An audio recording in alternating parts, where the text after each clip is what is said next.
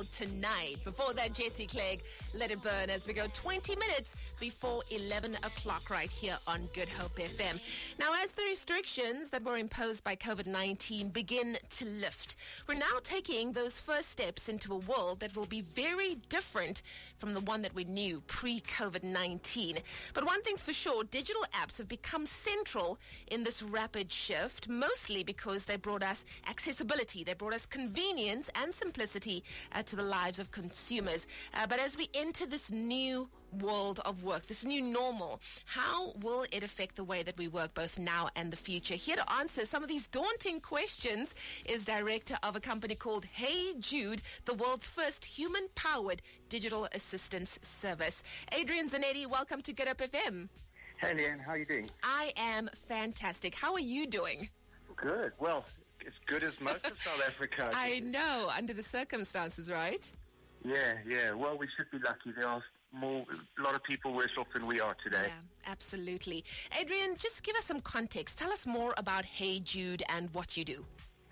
Well, the Hey Jude is a is a platform that was was built to combine the best of uh, a digital assistant and AI. So things like Siri you would use on your Apple phone or Google Assistant internationally or an Amazon Alexa unit. And um, we looked at it and said, you know, the world is connected and those devices are fantastic, but they do lack the um, the human in the loop, and, Yeah. and really the, the human that can get things done, that can emph- uh, uh, empathize with you, that that can listen to your task and, and solve things. So it's really a platform we, we put out to the public. We also very much entrench it in corporates, and, and corporates give this platform to their employees. And, and I guess, you know, that's really where, where we, from the COVID perspective, said, you know, the, the world's gone home, but we, we, we don't understand the psychological and the pressures families have working at home and getting things done. So, you know, in, in, in the short version, it, it takes you to a digital personal assistant. It, it connects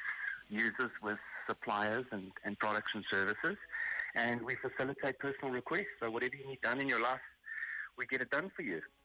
Which is quite amazing because I'm sure that this is not something that just started now. It's been around for a while. However, platforms like this needed to gain massive momentum when the pandemic hit and all of a sudden we were social distancing. We were told to stay at home, work from home, move around as little as possible, only get those essential uh, things that we needed. And now this platform is more needed than ever because we still need convenience. We still need to get our hands on certain things, and uh, it's it's really making it a lot easier. How do you see a platform like this uh, playing a major role as we go into the future? Because we don't necessarily know what the future looks like, but we do know that COVID's going to be around for a while. Yeah.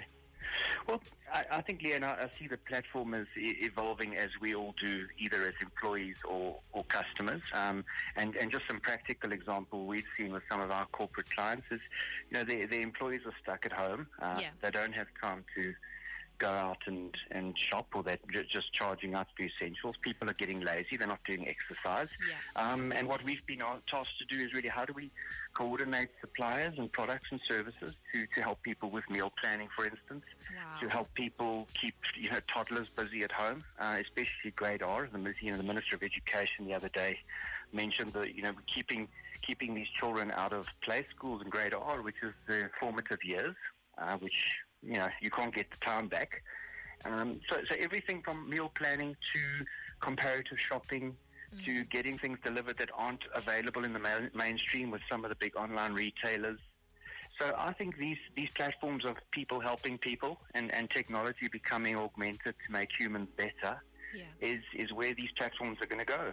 Yeah, and this is the future, you know, and we need to start embracing and migrating to uh, these emerging technologies for any business or individual who wants to find out more about you and how they can position themselves to better navigate these uncharted post COVID 19 waters. How can they make contact with you, Adrian? So uh, all our contact details are available on our website, heyjudeapp.com, um, or you can download the app on the Play Store or through the App Store. And uh, there are a few free trials. So you're able to test and use it and, and either gauge it if it's something for your business or, or something for yourself. And for anybody listening right now who just needs a little bit of motivation, you know, we're all trying to to kind of navigate um, something that we've never experienced before uh, digitally as well. What would your words of advice be to them? Uh, I think keep looking. You know, the world is the world's been in a worse position. Um, I was reminded by my mother that my great grandmother had the Spanish flu and lived. Wow. I'm so happy about that. um, I think I think uh, I think South Africans are resilient and the world, and we'll we'll come through this. There will be a cure, Yeah. and um, we'll reinvent our work. We'll reinvent our social spaces. And it does sound cheesy, but you know it is what it is, and and humans will adapt. Exactly. That's what we've done, and that's what we will continue to do. Adrian Zanetti, thank you so much for joining me today on the radio. Thanks for having me. There we go. Adrian Zanetti, who is uh, the director of a company called Hey Jude, the world's first human powered digital assistance service. Uh, they use clever tech and it's backed up by smart people and delivered through a very cool app to make life a whole lot easier. Companies give Hey Jude to their customers and employees to help them save time, help them save money, and to sort out their day to day needs. You can check them out. Hey Jude. So we're halfway through the year and things didn't work out exactly as we'd planned. Our finances are stretched. Our finances are stretched. Our